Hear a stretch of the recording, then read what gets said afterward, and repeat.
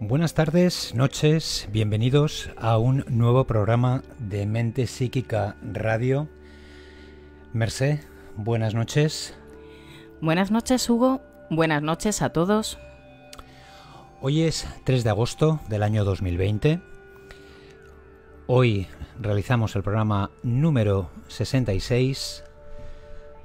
Hoy nos visita un invitado muy especial, pero antes de presentarle, os vamos a recordar el congreso que vamos a celebrar el 14 y 15 de agosto, el segundo congreso Los poderes ocultos de la mente.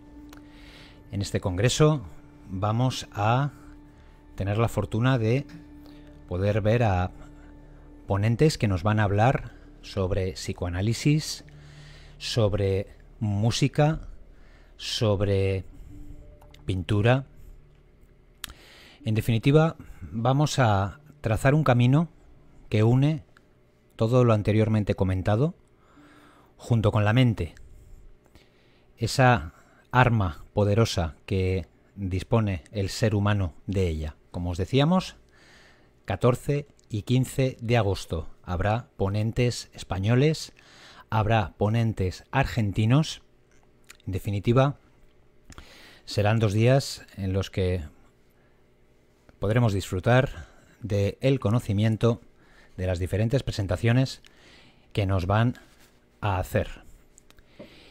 Y sin más dilación, vamos a pasar a presentar a nuestro invitado de hoy. Nuestro invitado de hoy se llama Paco Valdivia.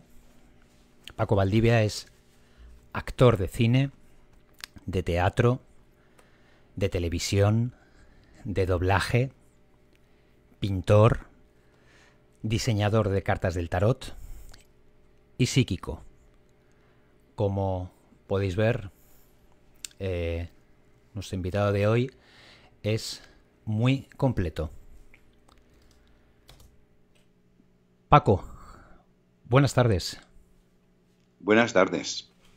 Buenas tardes, noches, Paco. Yo creo que hay que decir ya buenas tardes, noches, ¿verdad?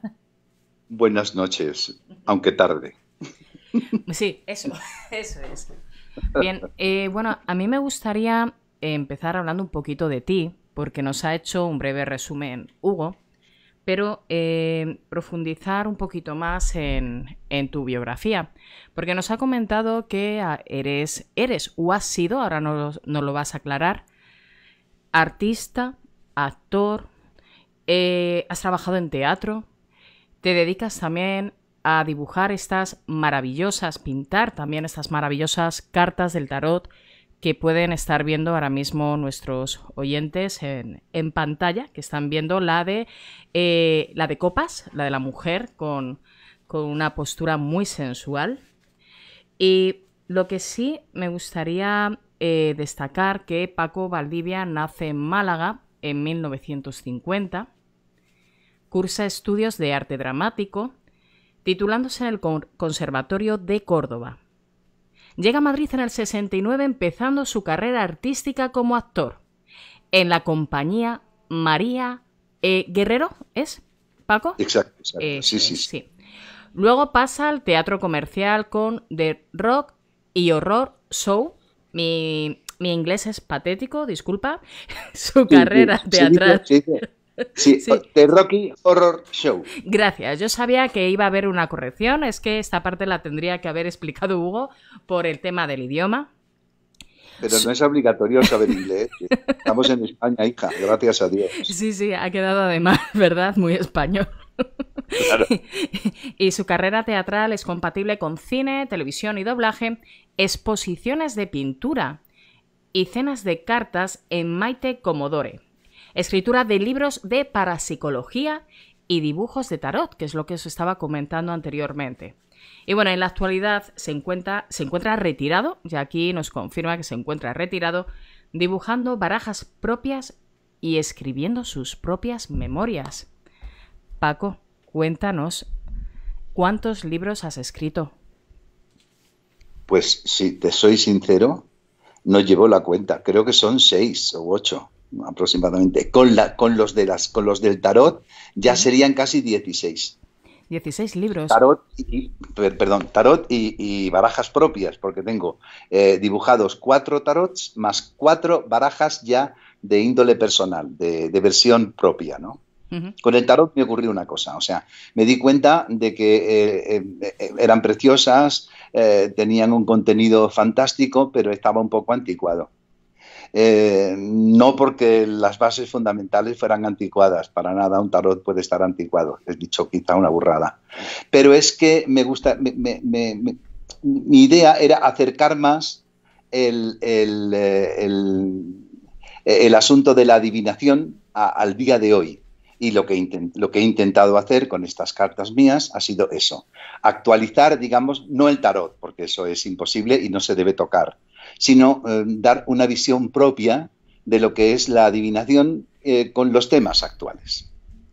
Cuando trabajas la técnica en sí, yo voy a hablar de técnicas porque nosotros nos dedicamos a, entrenar, ¿no? A mediunas psíquicos con técnicas, canalizaciones y demás. Considero que utilizas algún tipo de técnica para representar eh, esas imágenes. ¿Ves esas imágenes y luego las dibujas? Mm, no. No. Eh, no, no, realmente no. O sea, los tarots, por supuesto, porque tienen que tener un contenido exacto, porque si no, no serían cartas del tarot. Lleva una, serie de símbolos que hay, que hay que poner sí o no. Pero en las propias, no.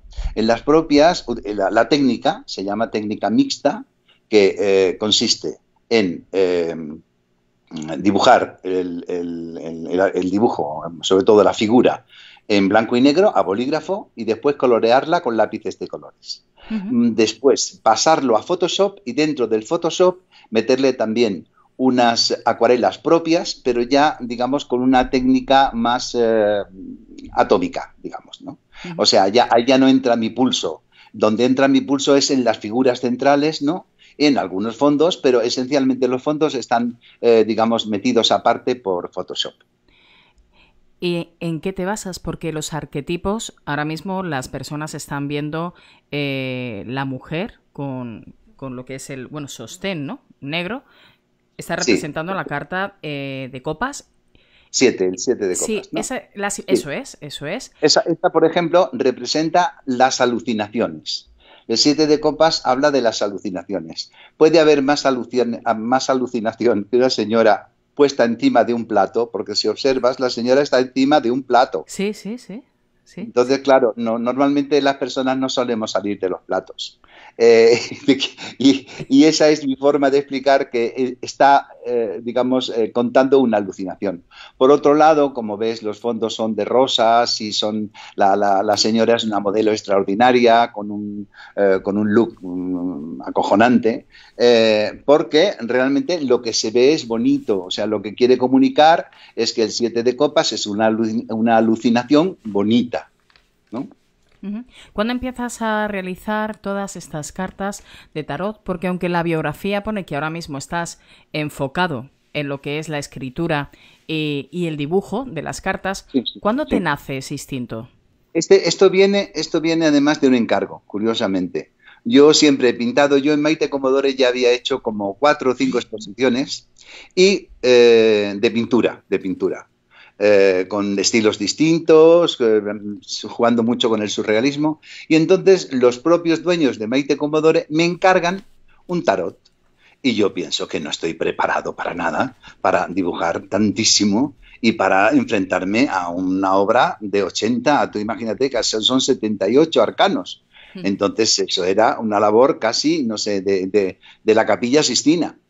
Y, digo en principio que no, que yo no estoy preparado para eso. Pero me pongo a intentarlo, me pongo a intentarlo, me pongo a intentarlo. Claro, llevo dibujando desde los cuatro o cinco años. Y aunque no tengo titulación, pero siempre he sido muy intuitivo y siempre he estado buscando lo que, lo que, lo que necesitaba y me tengo mucho estudiado, digamos, por mi cuenta. Además, no quise estudiar eh, Bellas Artes porque en cuanto mis amigos de, se ponían a, mis amigos pintores se ponían a estudiar bellas artes, dejaban de pintar, todos. O sea que la educación de bellas artes era meterles, eh, digamos, eh, tal cantidad de, tipos de pintura, de formas de pintar, que, acababan paralizados del horror y ya no pintaban para nada. Entonces eh, decidí ir por mi cuenta directamente. ¿no?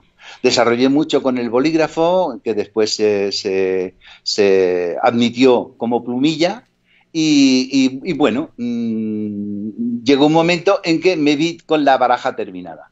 Y cuando estaba con la baraja terminada, que casi tardé un año en hacerla, imagínate, de pronto no llego a un acuerdo con Maite, vamos, con, la, con el director de Maite, y eh, también había la publicación de un libro que se de, poesía, porque también escribo poesía.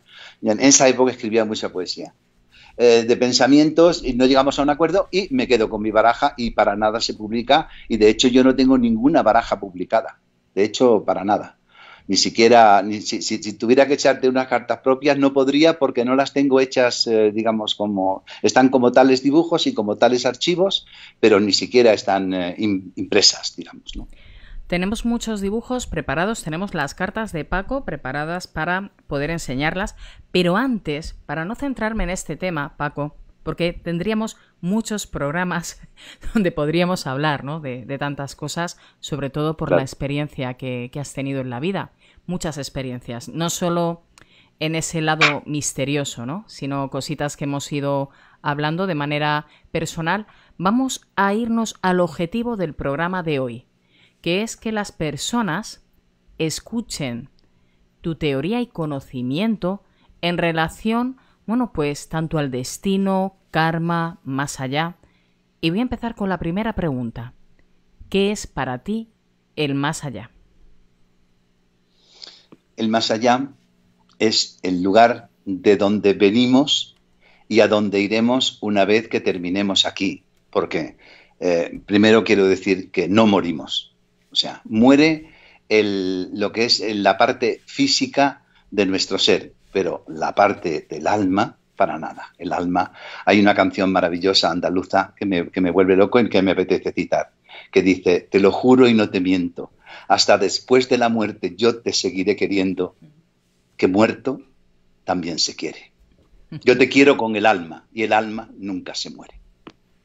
Entonces, quisiera abrir, digamos, esta parte ya tocante a la, la parapsicología, diciendo que si de verdad nos están escuchando, me gustaría que recibieran la gran noticia de que la muerte no existe. Pasamos por aquí como una asignatura, como parte de un karma y nos incorporamos a la vida que estamos realizando, supuestamente ese personaje que somos, porque lo hemos decidido de antemano. Nosotros, o sea, e, e, existe ya una cosa que se llama destino. El, destino es lo que está escrito. El destino es el gran guion de lo que tiene que suceder en esta vida. Entonces, antes de nacer, vemos que el niño que va a nacer, que está dentro del vientre de la madre, le van a suceder una serie de cosas que a nosotros nos viene bien para nuestro karma y nos incorporamos como alma en el nacimiento. Y ya olvidamos completamente que hemos sido un alma y empezamos a pasar el gran padecimiento de lo que es en sí la vida, ¿no? Porque la vida no deja de ser un sufrimiento, hay quien dice y lo describe como un valle de lágrimas. Efectivamente, si no lloramos, si no sufrimos, no aprendemos. Eso de la sangre con letra entra, he odiado siempre esa palabra, pero realmente he llegado a la conclusión de que solamente sufriendo aprendemos. Entonces, eh, para mí, para mí, el más allá es exactamente de dónde venimos, como volviendo a tu pregunta inicial, eh, y hacia dónde vamos. El más allá además, eh, bueno, ya te he comentado antes de empezar el programa que yo eh, suelo poner preguntas o puntualizar y ser muy puñetera a veces, muy pícara, como te he comentado, porque el más allá, tanto el karma como el destino, las personas cuando hablan de estos temas creo que tienen una asimilación o un significado totalmente incorrecto, porque cuando hablan del más allá es esa parte fantasmal, tenebrosa. Paco, ¿es tan tenebroso todo eso? Si acabas de decir que esto realmente es la prueba dura, ¿no? Esta parte de lo que llamamos vida, entre comillas, yo siempre lo pongo entre comillas, ¿Es tan duro como lo, eh, eh, lo, describen las personas? ¿Tan tétrico? ¿Tantos fantasmas, mujeres con ojos rojos y colmillos? No. hay de todo. A ver si me entiendes. Eso quiero que los, los, cristianos, los cristianos les han dado por inventarse el infierno y hacer una subdivisión de cielo, eh, cielo, eh, purgatorio e infierno, para poder clasificar a la gente medieval o incluso anterior para que se fueran haciendo una idea. Yo creo que no, yo creo que hay de todo, de todo. Ah, pero, pero para nada es esa imagen terrorífica, al contrario.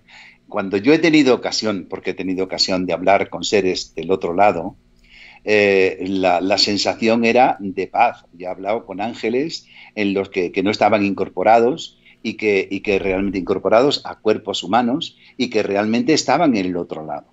Y la sensación que he tenido siempre era que me hablaban desde una gran pena, con una gran pena hacia mí, ¿no?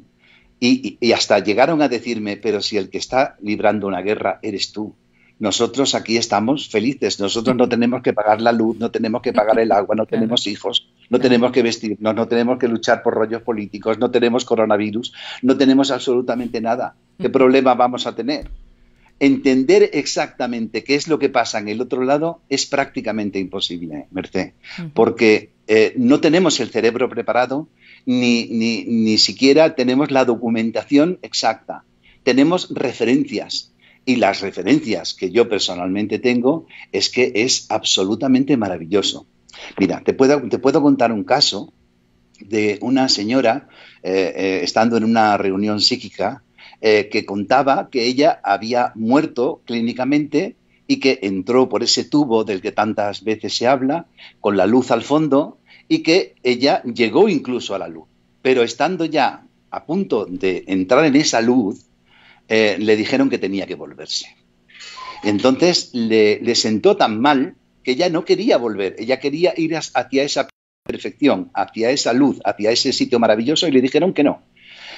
Había personas alrededor que le dijeron, pero no te llamaban tus hijos, tú tienes hijos, ¿cómo es posible? Y decía la mujer, ni hijos ni puñetas, yo lo que quería era estar en esa luz, en esa luz maravillosa, en ese sitio perfecto que tanto se diferenciaba de la vida que había vivido en la tierra. Por otro lado, tampoco, no solamente en la Tierra hay, vida incorporada espiritual, hay otros planetas que efectivamente están habitados, que no tienen por qué ser señores de Logroño vestidos con traje y corbata, son otras formas de vida, donde también hay espíritus que se incorporan y Incluso una de las cosas que yo recuerdo también haber leído, y perdón que me enrolle, era que en ese tubo mm, que ve la gente cuando mm, en ese tránsito de lo que llamamos aquí muerte hacia el otro lado, había hasta animales. Luego, los animales también tienen, o sea, tienen razón los indios cuando dicen que los animales también son, eh, eh, tienen espíritu. Sí. O sea que, sí, sí, sí. sí, sí Sí, porque de, hecho, disculpa que te interrumpa ahí, porque no, no, no, digo, disculpa. yo el otro día estuve caminando por aquí por la zona de la montaña y se me cruzó un perro que claro, como los veo tan... Yo los llamo hologramas a los espíritus porque, claro, yo los veo como hologramas, pero sí se pasó y me aparté, porque en principio, eh, bueno, pues yo creía que era eh, que estaba encarnado, ¿no? En esta, en esta vida. Y resultó que no, que no estaba encarnado en esta vida, pero me llamó mucho la atención porque no había visto animales, ¿eh? Y me llamó mucho la atención. Pues yo tengo un, texto que te puedo citar, en el que de pronto mm, mm, eh, un texto de, está hecho por una doctora eh, haciendo como entrevistas a personas que han vuelto, digamos, de la muerte. O sea, que están a punto de, morir, pero después han vuelto, ¿no?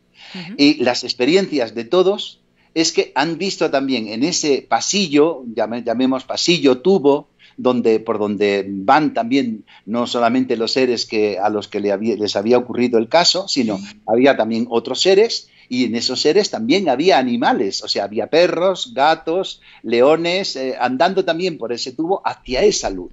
Luego imagínate el más allá lo que puede ser. Eh, inimaginable, inimaginable siempre se representa, Paco, en las películas o incluso, no sé si has vivido la experiencia de entrar en trance o en estados meditativos con, a través de estados de conciencia, donde vemos un parque, una montaña. Realmente, eh, por hablar, eh, por compartir una opinión, ¿crees que puede ser, se puede relacionar esa imagen o es nuestra propia mente que trabaja con algún filtro?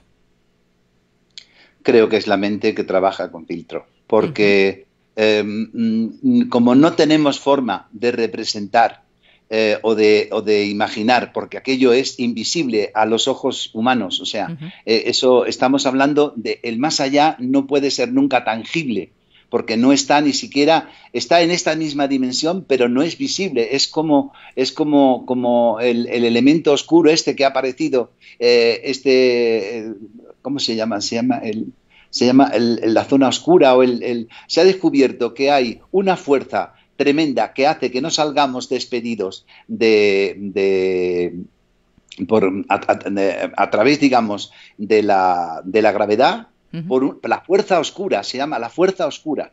Y entonces, eh, eh, no, todo lo que eh, hay en este mundo ni en el otro es visible a los ojos normales. Y además, el cerebro hace verdaderas y auténticas eh, mariconadas con, las personas. O sea, eh, la gente ve lo que quiere ver, cree lo que quiere creer, y, pero si, si se han tenido que anular los, testigos presenciales de los accidentes porque cada, viendo el mismo accidente cada uno cuenta una cosa distinta. Claro, claro. Es en la imaginación e incluso yo hablaría de sistemas de creencia también, porque yo he hablado con gente, claro que para ellos él, eh, es el cielo, ¿no? Eh, dependiendo religión o cómo te hayan educado. Y ven, bueno, pues eh, el cielo con pues eh, con seres de luz e incluso he hablado con gente que ve iglesias y he tenido experiencias con personas cuando hemos compartido trabajos de, relacionados a estados de conciencia en ese túnel que estás comentando que dicen pues haber aparecido en un templo o incluso bueno pues en, en zonas con indios yo creo que es más bien ese filtro, ¿no? Que necesitamos, como tú bien estás diciendo, para asegurarnos el otro lado, ¿no? es, el seguro del otro lado. Es decir, bueno, tiene que, haber algo, tiene que haber. El que tenemos, digamos, de, lo que estoy hablando es que parece que no estoy hablando de nada. Porque, porque, porque de alguna manera es la nada. Para nosotros es la nada. Es un mundo complicadísimo, con muchísimos niveles, con muchísimos planos. Yo he hablado con, espíritus que estaban en misiones y no he podido hablar en ese momento. Eh, tienen una inteligencia absolutamente, bueno, claro, no, tienen, no tienen cuerpo, pero, pero realmente eh, son buenísimos. Hay, hay, una, hay, hay una bondad, el amor es lo que de verdad mueve todo esto y todo lo que hemos venido realmente a, este, a este plano en el que estamos a amar aprender a amar. Y hasta que no aprendamos a amar, no, no, no dejaremos de tener una y otra y otra y otra reencarnación. De hecho, me gustaría poder citar, perdona, Mercedes, me gustaría poder citar un libro. Eh, no, no, ¿Puedo hacerlo? ¿Puedo, puedo citar un libro? Por supuesto. Mira, hay un libro absolutamente maravilloso que se llama Muchas vidas, muchos maestros, de Brian Wake estamos también yo con mi problema. Waste, Waste, Brian Waste. Muchas vidas, muchos maestros. Es la historia de un eh, psicólogo que trata a una señora que tiene manías y problemas y cree que son problemas de la infancia. Y entonces le hace regresiones hacia la infancia. Y llega un momento en que tiene tanta facilidad que de la infancia pasa al, al seno materno y del seno materno acaba diciendo que es un, marinero del barco tal y que ha muerto en tal sitio y que ha muerto en tal otro. Se quedan absolutamente estupefactos. Tanto la señora está contando esto en este estado de conciencia como el, propio psicólogo, ¿no? Porque además no cree ni en la luz eléctrica, o sea, nada, nada paranormal. Y lo que están es enfrentándose a la reencarnación. Eh, este hombre toma nota y busca el nombre que le ha dado del marinero. Y se da cuenta de que ese marinero existió y que es verdad que murió en un barco y que es verdad que murió en una guerra, porque la, señora le podía decir perfectamente dónde estaba, qué pasaba, qué hacía, eh, eh, en qué pensaba, qué sentía y en qué guerra estaba y en qué fecha. Con lo cual era fácil de comprobar. Se llega a comprobar y empieza entonces una guerra eh, mental por parte del psicólogo y de la señora esta que quiere seguir comprobando sus otras vidas, que entonces ya te cuento el libro. Pero realmente, muchas vidas, muchos maestros. Para que nos estemos escuchando, por favor, leerlo porque es apasionante. Y es la historia de un señor, es una historia real de un señor psicólogo estadounidense. Tomamos nota y toman nota, seguro, porque además, eh, bueno, ya hay alguna pregunta por aquí, Paco, pero como son preguntas relacionadas a las cartas, He ido escribiendo que vamos a dejar esas preguntas para el final del programa para seguir centrándonos en este objetivo, porque de el más allá de la explicación de qué es el más allá, me voy a ir a qué es el karma. Al principio has dado unas pinceladas, pero quiero profundizar porque escuchamos siempre decir el karma es el castigo. Hiciste algo mal, te vendrá todo negativo. ¿Me puedes explicar si eso es correcto según tu conocimiento, experiencia y teoría? Sí. Yo, el karma suelen ser cuentas pendientes. Suelen ser no solamente de estas vidas, sino incluso de otras, de cosas que se han quedado pendientes. Y hasta que el karma no queda limpio, el, ser, el alma, no, no queda tranquila. eso, de, eso de que al final, cuando, cuando nos vamos de aquí y pasamos a ese otro plano, lo que normalmente se suele llamar muerte, no hay de pronto eso que llaman el, juicio, el juicio que te hacen un juicio donde de pronto sopesan lo bueno, lo malo, lo demás allá. No. Es uno mismo que ve como si fuera una peli la vida. ¿no? Entonces se ha dado cuenta de cómo ha funcionado amorosamente con respecto a lo que, eh, a cómo debía comportarse. Entonces, el karma realmente son cuentas pendientes. Y crear un mal karma, que es una frase que se dice mucho, es como decir, uy, estás haciendo algo que el universo te devolverá mm, de mala manera. Porque además, entre otras cosas, yo creo que aquí se paga casi todo. O sea, en, esta existencia se paga casi todo. Pero lo que se pueda quedar pendiente, tendrás que volver y tendrás que volver a ser otro ser humano para poder limpiar lo que es ese karma. Los indios utilizan muchísimo, los indios de la India utilizan muchísimo el karma, la palabra karma, porque em, eh, es, una, es una de sus creencias importantes. Por eso hablan de buen karma, buen mal karma. Ellos lo llevan, digamos, al extremo con, a través de las etnias y a través, digamos, de los niveles sociales espantosos con los que se rigen todavía los pobrecitos. Pero, sin embargo, hay que, hay que reconocer que si hay un pueblo feliz en este mundo es la India. ¿Por qué? Porque creen en la reencarnación, porque saben que pasar por aquí no es ni más ni menos que una amiga me dijo el otro día, es un sueño. Y yo pensé, efectivamente, es un sueño, pero también lo dijo Calderón de la Barca, que no estaba tan mal, tan mal informado el hombre, quiero decir. Esta vida es como un sueño. Y lo que es el karma son cuentas pendientes que se quedan. Lo que pasa es que vamos a ver, lo que, lo que, para, lo que para nosotros puede ser importante en el, en el otro lado no tiene por qué serlo. Yo tengo el caso de un amigo que me contó que hablaba con un espíritu, con, una señora que se había quedado en, en trance y le decía, ay señora, qué mal, qué mal que soy homosexual. Y la señora esta, el espíritu, le decía, pero si eso son cosas de tu cuerpo, no son cosas de tu alma. diciendo, ¿a qué me vienes a mí a contar que eres esto, que eres otro? ¿Y qué coño me importa eso? perdón, perdón por la, por la No, no. Es muy decisivo. Me hace mucha gracia, ¿no? Porque eh, la forma de expresar, y es que es, así, ¿no? Estamos eh, pensando que allí juzgan, que allí hacen, pero el karma es que yo cuando hablo con alumnos me dicen, no, el karma solamente lo que recibes si haces algo mal. Constantemente se tienen esa teoría y, es bueno que conozcan que también es lo que venimos a pulir. De otra manera, no, no, no. El, karma es algo que incluso que traemos de otras vidas y que hay que solucionar aquí. Es una cuenta pendiente. El, karma es una cuenta pendiente. O es algo que creamos y que, y que habrá que resolver más adelante. Es como una especie de débito, de débito al universo. Nos preguntan, Paco, nos dicen, eh, nos está escribiendo un oyente y te preguntan, ¿cómo puedo mejorar mi karma? Yo creo que a conciencia no se puede. Eso es, volvemos otra vez al destino. Eso lo llevas en el destino y si tú has elegido ser la persona que eres en este momento, ya llevas incluido ese, esa propi del karma. O sea, tú, tú no puedes hacer nada por, por arreglar tu karma, como no sea algo que realmente has hecho aquí y de lo que te arrepientes.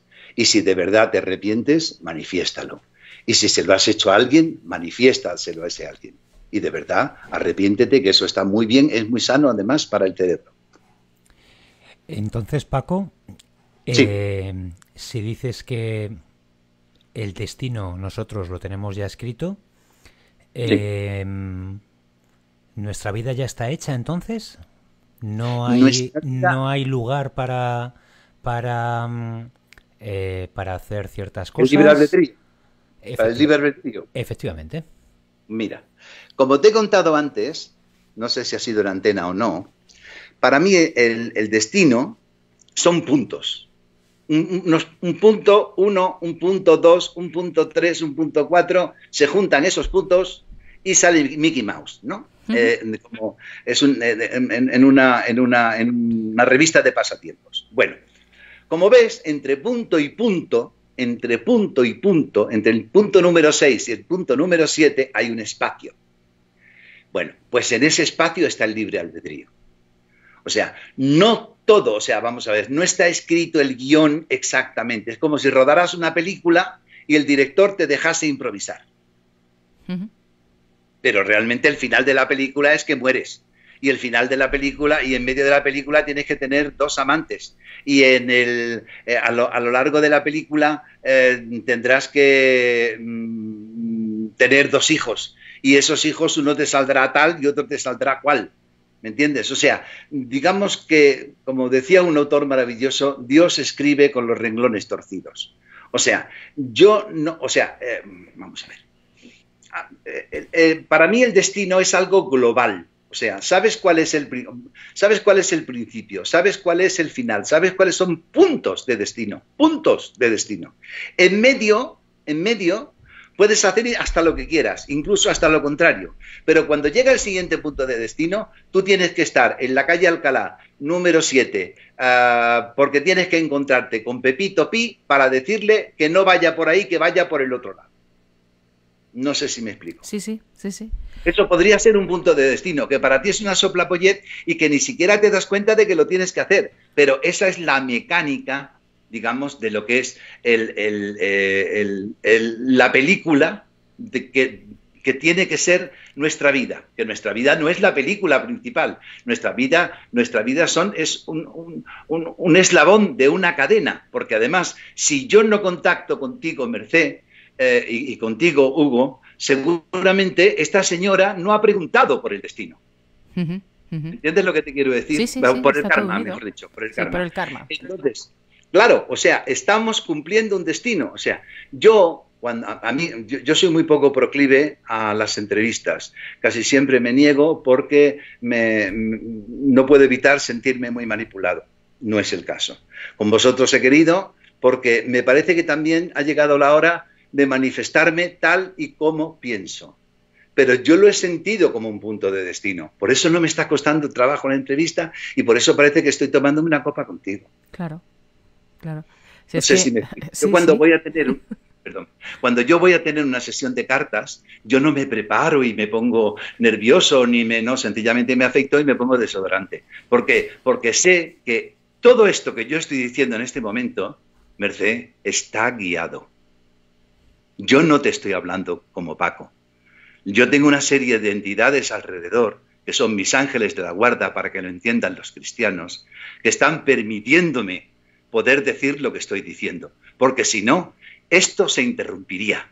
Esto habría sido imposible eh, que ocurriera. No sé si te ha pasado con alguna sesión con alguien que era imposible que de pronto esa sesión se pudiese realizar. Sí.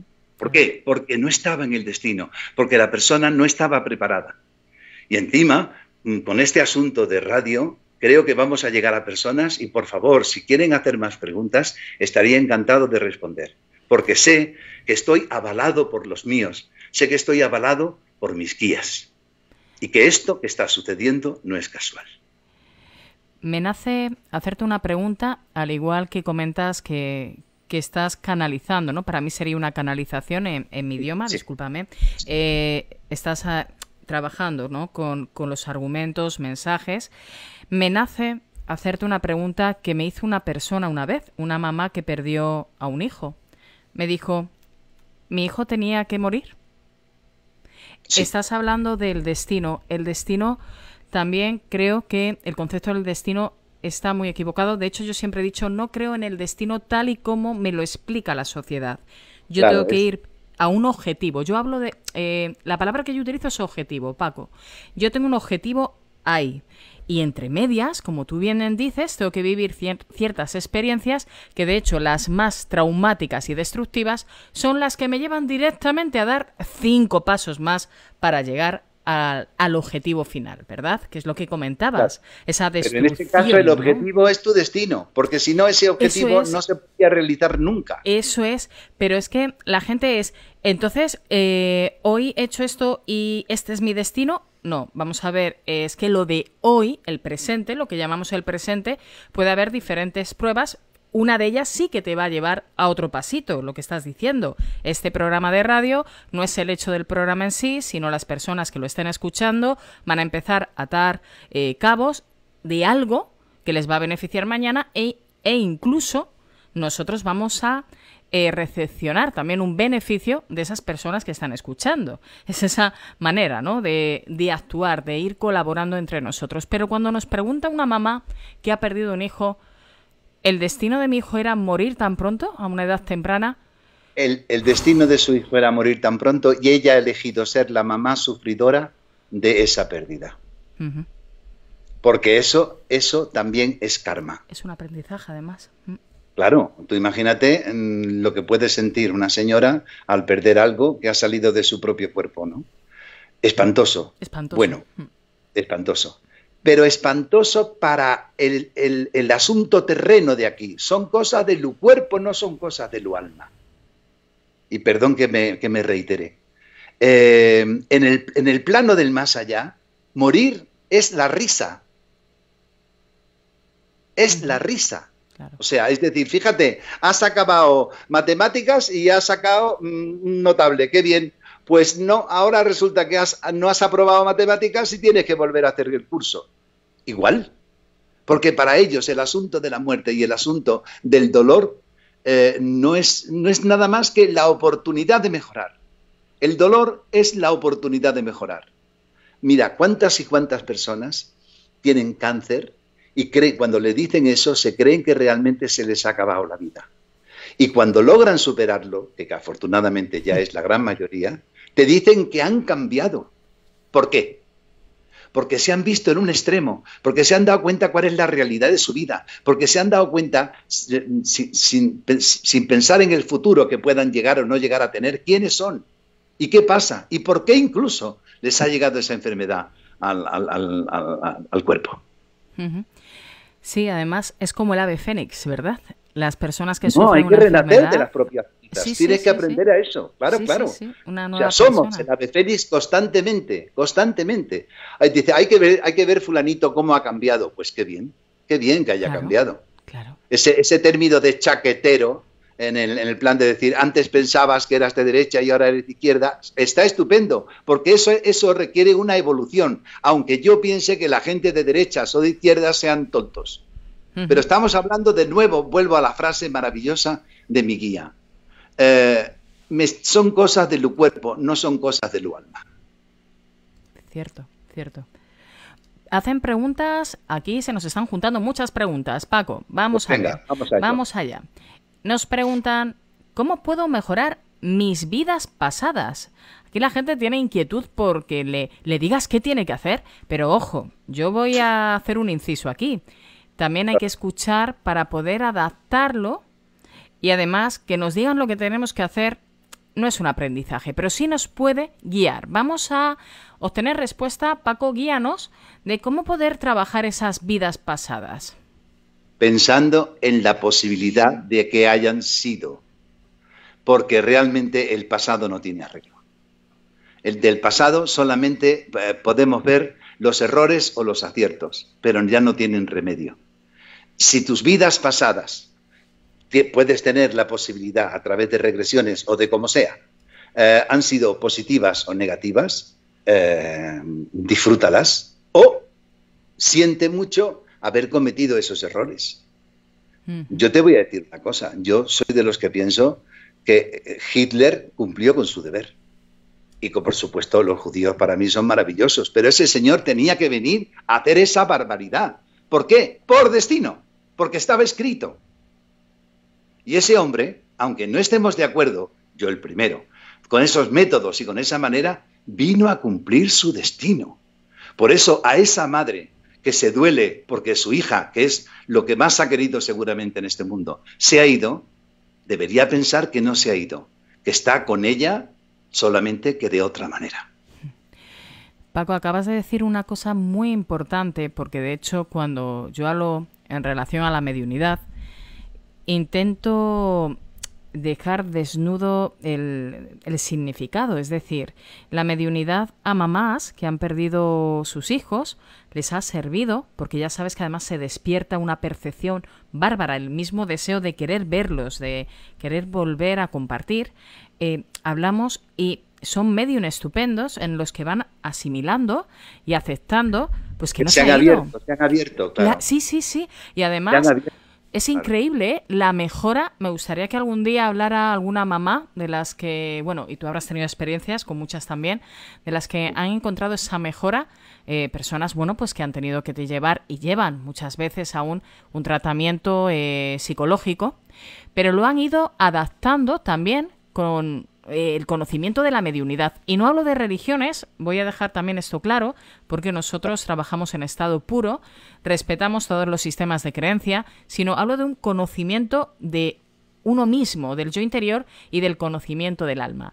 Y fíjate, Paco, es que tú ahora mismo no lo estás viendo, te estás viendo tú en pantalla, pero las personas que están oyendo y viendo la carátula del programa, Hugo ha ido colocando cartas a tu vera y ha colocado la carta de la recuperación y abajo que pone salud, la mano con eh, una es una es un hombre, una mujer o es un, cuerpo de una es un persona. Ser que va hacia la luz. Sí, es un ser recuperado que va hacia la luz. Sí.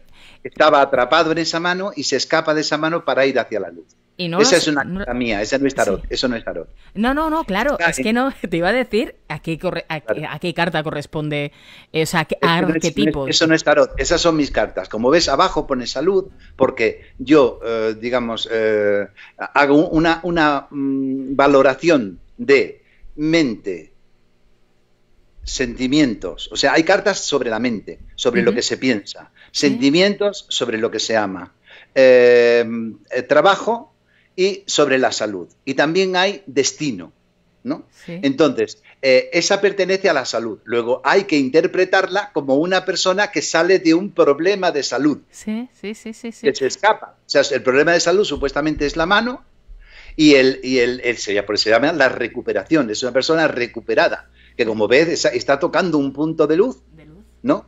Y que supuestamente está volando, se ha escapado de esa mano que está abierta.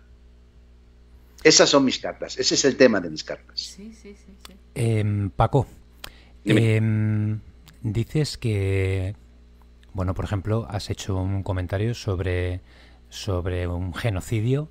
Dices que es el destino, que esta persona tenía que venir para realizarlo, aunque suene, aunque suene raro. Sí. Em, ¿Tú crees que al igual que eh, desde el colegio nos enseñan a leer, a escribir, matemáticas, lengua y tal, nos deberían enseñar también todo lo que tú estás hablando ahora para poder entender la vida realmente? Me encanta que me hagas esta pregunta y perdón por el pedazo de, de topicazo. Es que en el colegio se debe dar inteligencia emocional. Esa es la clave Cuando una persona quiere hacer un curso, esto lo digo de verdad en serio y desde el corazón, cuando una persona quiere hacer un curso sobre algo, cuando una persona quiera mejorar, como esa señora que quiere mejorar su calma, o ese señor o, o esa persona que quiere saber de sus vidas anteriores, hay que pasar las cosas por el sentimiento. El cerebro no hace más que entorpecer. El cerebro solamente cuantitativa las cosas, pero no las valora en el, en el, en el sentimiento. La inteligencia emocional te hace comprender esto que me estás diciendo. Y si los niños desde pequeños saben valorar primero lo que sienten a lo que les meten en la cabeza por narices, mm. se podría mejorar muchísimo a todos los niveles. De hecho, sé de un estudio que se está haciendo para poder dar inteligencia emocional en los colegios. Y otro gallo nos cantaría. Porque un niño que aprende que lo más importante es querer, eh, creo que es un niño mejor ya de entrada. Sí, sí, sí, sí. Y además estás contestando una pregunta que, bueno, Hugo con su pregunta y Paco con tu respuesta. Eh, hay una persona que escribe pero si traemos cosas de nuestras vidas pasadas, miedos a determinadas cosas, podríamos sanar eso que traemos, inteligencia emocional, lo que está comentando ahora mismo Paco. Y de hecho estuvimos hablando de este tema el otro día, Paco, cuando hablamos por teléfono, y, salió, ¿no? El, el poder educar desde el colegio ciertas técnicas en las que no hay un porqué a todo, sino una emoción y un sentimiento. Claro, es el sentimiento el que te guía hacia las cosas o sea, nosotros estamos aquí, querida Merced, estamos aquí por sentimiento. No sé si me explico. Es el amor que a mí me está moviendo a hacer el ridículo, a lo mejor, hablando tan bestialmente eh, con el corazón abierto. Pero también se podrá apreciar que tengo el corazón abierto y que no pretendo absolutamente nada. Eh, me hace mucha gracia, entre comillas, lo que estoy viendo que está haciendo Hugo, porque eh, está eligiendo cartas que no sé, nos pasaste, pero las está poniendo intuitivamente. Y anteriormente había puesto la de la recuperación salud, estábamos hablando de temas de cáncer, de aprendizaje, de evolución, ¿no? De, de ese ave fénix. Y ahora vamos a esa pregunta relacionada además con la carta, porque yo te quería preguntar qué es la reencarnación, que nos amplíes esa información que también anteriormente has dado pinceladas, y Hugo de repente ha colocado la carta de la muerte. Claro. Mira, la reencarnación no es, fíjate, que el otro día, no sé si recordarás que hablamos de que la Iglesia Católica admitió durante un tiempo el tema de la reencarnación. Lo que pasa es que no le llamaba como tal, la llamaba eh, otras vidas, otras, eh, otras formas, digamos, de, de, incorporación. No, le, no, lo, no utilizaba el término eh, reencarnación. Y fue en el concilio de Constantinopla, lo tengo aquí acotado en un libro para podértelo decir, el cuco dice, la, dice que confirma. Bueno, dice, los elementos detallados de la historia de la condena de las ideas sobre vidas sucesivas, la presencia de los espíritus, me han sido proporcionados eh, por el doctor, bueno, esto no, espérate, dice, en el concilio de Constantinopla condenó la tesis de Orígenes, que eso que era aumenta, pero sin que la palabra reencarnación fuera formulada de modo explícito. La condena de la doctrina de, la, de, vidas sucesivas es sólo implícita. Luego admite este en el libro este que se llama Más, el, más, de, más allá de la muerte de, de Hélène Renaud, por si acaso que alguien quiere tomar nota, Más allá de la muerte de eh, Renard, Renard eh, lo explica explícitamente. O sea, que eh, por intereses es el problema, digamos, que creo que tiene la Iglesia, ¿no? Está tan llena de intereses que se ha olvidado de lo más importante.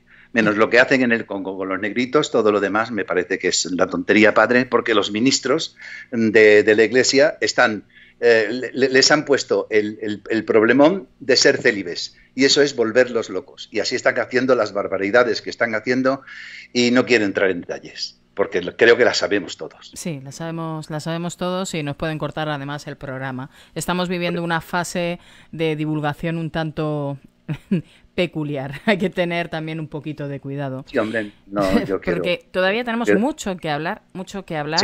y volviendo al tema de la reencarnación y uniéndolo con una pregunta que me había quedado en el aire y no quiero dejar preguntas en el aire. Hay una persona que, que dice qué pistas podemos seguir para alcanzar nuestro destino. Fíjate que no, no te está preguntando en relación a la reencarnación, pero no sé por qué hay una unión esas pistas con la reencarnación. Quizás tenemos que observarnos. Por supuesto. Hablábamos antes de la inteligencia emocional. Observa las emociones, utilizando tu, propio, tu propia aceptación. Observando las emociones, la forma de saber cuáles son los puntos de destino, es lo que ocurre con una facilidad tremenda, aunque pueda llegar a ser muy complicado. ¿Por qué? Porque tiene que suceder. No, no, pero ¿qué me estás diciendo? Que salga el sol por la noche. Sí, pero es que si está en el destino, sucederá. Y lo verás como la cosa más natural. Mm. Esa es la fórmula concreta en la que uno puede notar que realmente está en un punto de destino.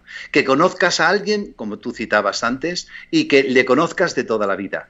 Que, te digan una palabra que te cambie la vida. Que, te, que, ocurra algo que te haga ver la luz con respecto a cosas que tenías completamente eh, ceguera.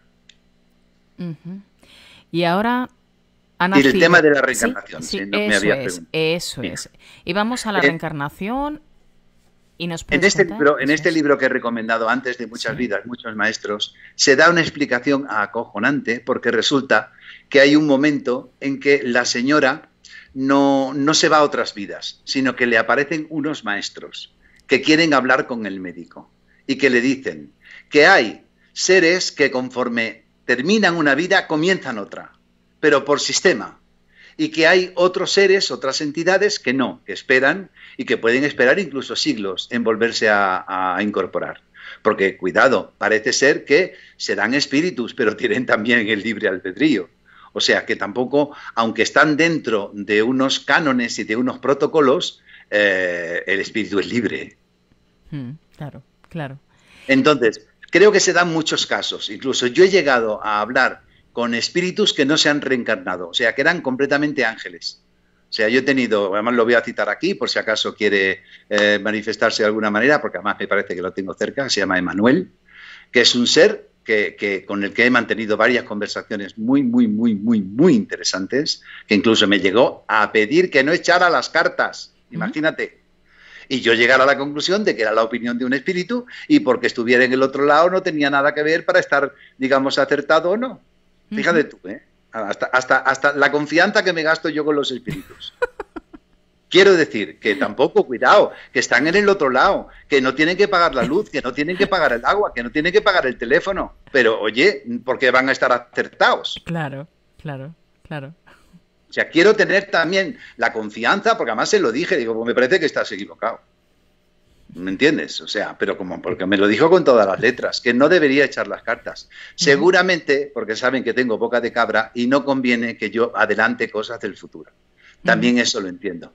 Pero yo al echar las cartas tengo muchísimo cuidado en cómo lo hago porque mm, son tantos años desarrollando esta técnica que sé perfectamente con quién estoy hablando, cómo debo hablarle y de la forma que debo hablarle de una forma intuitiva. Quizá, como te he dicho antes, como estoy haciendo esta entrevista, porque voy guiado. Y Paco, para salirme ya de, este tema que estamos hablando, porque creo que ya hemos mm, comentado lo más importante, más adelante quizás debamos seguir explicando detenidamente en relación a un tema en concreto, pero me nace preguntarte, me, ha salido, ¿no? Intuitivamente, eh, ¿qué sientes de la humanidad? ¿Qué está sucediendo? Que no tengo cerebro mm, para... Mm, yo hace mucho tiempo decidí que no era nadie para juzgar a nadie, ¿no? Y eso en, la más alta extensión de, la palabra, lo mismo que eh, no tengo palabras para decirle a esa señora que ha perdido el hijo, mm, diciéndole que su hijo tenía que morir y que ella tenía que buscar ese otro, lo que, lo que está pasando en este momento, volvemos al destino, es lo que tiene que pasar, Merced. Eh, mm, tenemos que cambiar. No, nos, hemos, nos hemos, creo que, amoldado, o ahora se le llama estado de confort. Hemos estado en un estado de confort durante mucho tiempo y creo que las cosas, eh, que los cambios son buenos, aunque sean dolorosos, aunque sea una guerra, aunque sea que quieres más guerra que la que estamos viviendo ahora, que es completamente bacteriológica. O sea, mm, mm, creo que estamos en medio de un cambio, que el mundo va a cambiar y que mm, lo necesitábamos porque nos habíamos acomodado demasiado, porque estábamos quizá demasiado seguros de nosotros mismos, en general, ¿eh? en general. Sí, sí, sí, y, que de verdad esta, esta forma, digamos, de vivir habíamos rayado en lo insano, porque nos estábamos cargando el planeta. Afortunadamente, mira, eh, la COVID ha traído algo que, nos ha hecho responsables a todos. y es que habiendo, habiendo menos, eh, menos movimiento de coche, se respira mejor. Y nos hemos dado cuenta todos a la vez que realmente lo que estamos haciendo con el planeta no tiene nombre. Ahora, ahora, sin embargo, cogemos y tiramos la mascarilla donde nos viene bien. Y eso parece que no se destruye. Con lo cual no paramos de cagarla. Pero yo tengo fe en el ser humano. Yo sigo pensando que el, por dentro todos somos buenos. Lo que pasa es que hay que sabernos educar, hay que saber, vamos, a una persona que, ha tenido una infancia difícil y que, que, le han pasado cosas terribles, mm, igual pedirle que sea un santo eh, es pedirle que se muera. No sé si me explico. O que se vaya. Entonces, eh, creo que tiene que haber de todo. Mm, pero sobre todo, no es quererme lavar las manos, ¿eh? es sencillamente decir que no estoy preparado para poder dar un veredicto a lo que pasa, un veredicto, digamos, firme, sino que todo es bastante relativo. Relativo, sí. ¿Y qué me puedes contar de la carta que ha intuido Hugo colocar ahora en pantalla, que es la emperatriz, porque veo mucho un árbol verde, veo esa, las cosas bien hechas, la estabilidad, un águila, pero ¿por qué veo tanto ese árbol? ¿Qué representa ese árbol, Paco? La naturaleza. Porque ten en cuenta que la emperatriz, la emperatriz no habla de una señora que es reina de un sitio. La emperatriz no es una persona, la emperatriz es un concepto. Y es el concepto de la, de la naturaleza de, la, del agrado de la naturaleza hacia la persona que está, em, que está consultando. Es, eh, es, el símbolo femenino, también por, como ves, también está la cruz eh, invertida con el círculo. Sí. Y, y, ese águila que parece que la va a agredir, pero que en el fondo lo que va es a posarse en esa, en esa mano tranquila de esa señora tan elevada y tan, y tan superior no es ni más ni menos que la madre naturaleza acogiendo a todo el mundo que no gasta demasiada gasolina en mover sus coches. Mm. Con respecto a lo que estábamos hablando antes. Sí, sí, sí. Eh, nos preguntan, eh, esta pregunta es en relación a, la elaboración, a la creación, más bien, de, tus cartas. Eh, preguntan, ¿sientes de alguna manera que te envuelve algo o que o entras en algún trance para conectarte con esa visión, realizar ese dibujo? Creo que sí, pero no me doy cuenta. Mm, vamos a ver. Para mí el estado de trance ya no es un... Ya no tengo que forzar absolutamente nada. Yo creo que incluso en este momento que parece que estoy hablando como si estuviera en mi casa, cosa que es verdad, eh, estoy en trance. Eh, el, trance no es, eh, no es un estado alterado de conciencia. El trance es un, un para, para, mí, para mí es como una especie de postura, de postura zen, de, postura de tranquilidad, de postura de sosiego, de postura de comunicación, de postura de amor. Bien, y sí, ahora. Y vuelvo otra vez al libro. Eh, debo hacerlas en trance porque además las puedo hacer. Creo que he roto solamente una o dos, uno o dos dibujos porque no, no me entraban, pero creo y vuelvo otra vez a lo que dije al principio. No se cae ni una sola hoja de un árbol sin que lo permita lo divino. Entonces, eh, mis cartas, eh, sí, las debo hacer en trance, pero en un trance tranquilo y en un trance como en el que estoy ahora, que yo estoy convencido de que estoy en trance. Eh, Paco, mira a ver si puedes colocar, no sé si es un ordenador o un móvil con lo que estás con lo que te estás comunicando, porque se te oye como ahora, ahora sí te oye un poquito mejor. Alejado. A ver. Que se me oía alejado. Eso es. Gracias, Paco. Lo siento, lo siento. No, se, se, ha escuchado, pero como estábamos escuchando también la voz y de repente se ha bajado, queríamos mediar para que el oyente, los oyentes te escucharan bien. Bueno, pues Paco, yo creo que aquí vamos a ir despidiendo, pero antes eh, de decir adiós, me gustaría que canalizaras y dijeras una frase a, a todos los oyentes o, o, las palabras que ahora mismo te nazcan para, para decirles un hasta luego. ¿Y qué es lo que sientes decirles a todas estas personas? Porque además hay mucha gente escuchándote que te envían corazones. Tú no tienes Facebook, pero yo te lo explico. Hay una, una parte de, de envíos de corazones, de me importa, de caritas, de los emoticonos, vamos, en resumen. Y te envían muchos corazones. Eh, ¿Qué les dirías? Tuve una experiencia de pequeño que yo, en lo que yo creía que era un pájaro, que resultó ser un ser de otro lado, que me dio un flash. Y, y con el tiempo, ya de, ya de adulto, lo pinté y salió como una especie de extraterrestre, blanco, maravilloso, guapo, con una especie de cresta, que después me dijeron que era algo que yo había visto en ese flash. Y como inconscientemente y por otro motivo, detrás puse con amor, por amor y para el amor. Y me gustaría que esas fueran mis simples palabras de despedida. Queridos todos, con amor, por amor y para el amor. Pues con estas palabras tan bonitas y además tan estremecedoras, ¿no? Porque yo he sentido, sobre todo en las piernas, curioso, una sensación de, de liberación.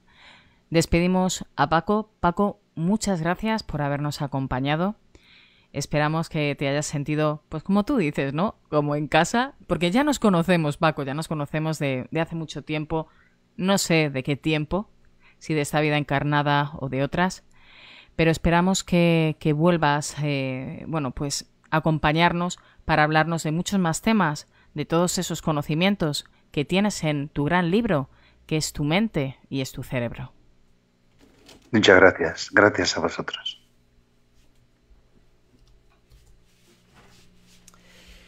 Hoy nos ha visitado Paco, Paco Valdivia, como podéis ver, una persona muy profunda y creo que el programa de hoy eh, es para pensar, es para escucharlo un par de veces, tres veces y quedarnos bien con todos esos conceptos que hemos, que hemos hablado hoy. Eh, le damos las gracias a Paco desde aquí por haber estado con nosotros en Mente Psíquica Radio y a los oyentes o a los videntes, porque todavía no he encontrado la palabra para definir a las personas que escuchan o ven nuestro programa, le damos las gracias también por haber estado ahí y estaremos el próximo miércoles con otro tema súper interesante. Muchas gracias. Buenas noches. Buenas noches a todos.